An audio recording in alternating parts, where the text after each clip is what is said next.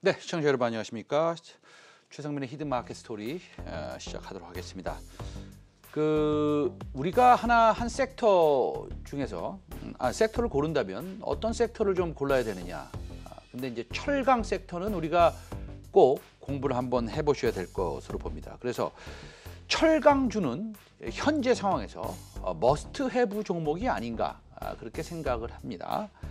며칠 전 이제 현대제철을 소개해 드렸는데요. 어, 현대제철 잘 움직이고 있습니까? 예.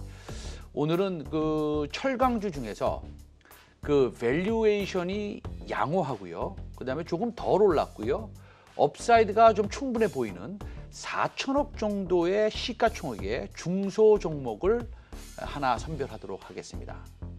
중형 종목이겠네요. 4천억 정도면요. 예. 중국 철강 시황부터 좀 말씀을 드릴게요. 중국 철강 시장은요.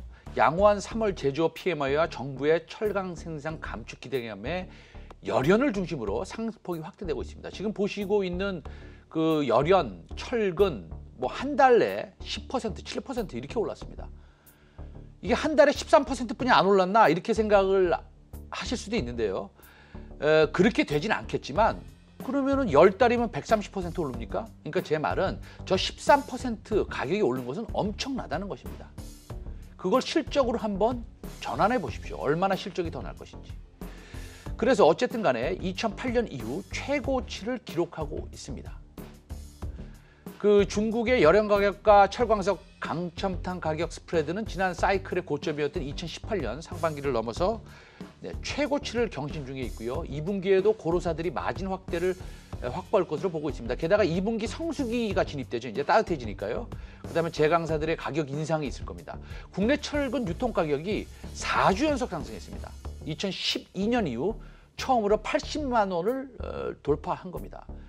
아직 오늘 소개해드릴 아직 저평가 국면에 있는 철근 관련주는 대한제강입니다. 대한제강은 올해 영업이익이 대폭 개선됩니다. 왜냐하면 대한제강은 i케이스, IK, IK 스틸을 인수했기 때문입니다. 작년 4분기 기준 생산 능력이 사실 대한제강이 38만 톤이었고요. 어, 그 분기에요. YK 스틸이 이제 30만 톤이었기 때문에 대한제강의 YK 스틸의 인수는 대한제강의 기업 값이 상승에 긍정적으로 판단되는데요. 국내 철근 3위와 5위가 이제 합쳐진 거죠. 실질적으로 합쳐졌기 때문에 국내 2위인 동국제강 규모와 유사합니다. 현대자치를 예를 들면 고철 가격 상승을 반영해서 2분기 철근 가격을 80만 80만 3천 원으로 1분기 대비 어, 약간 9만 원 정도 인상했습니다. 철근 가격의 지속적인 인상이 예상되는 그런 시점입니다. 인수한 이 YKS의 그 자기 자본 이익들을 놓고요.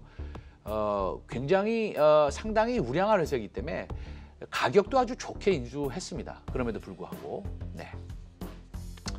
그 따라서 대한제강의 연결 매출액이 뭐 올해 한 1조 1조 5천 정도, 영업이익이 1,200억 정도, 세전이익도 한 1,200억 정도. 그래서 올해 철강 회사인데요. 세전이익이 한 그 70% 증가할 것으로 예상이 된다는 분석이 있습니다.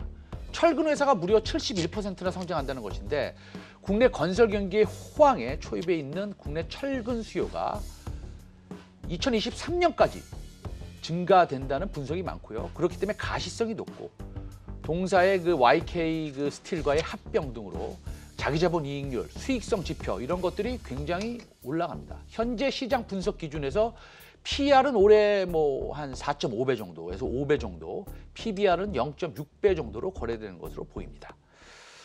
자, 철강 관련된 섹터에서 어, 종목 하나 소개 말씀드렸습니다. 내일 12시 50분에 뵙겠습니다. 감사합니다.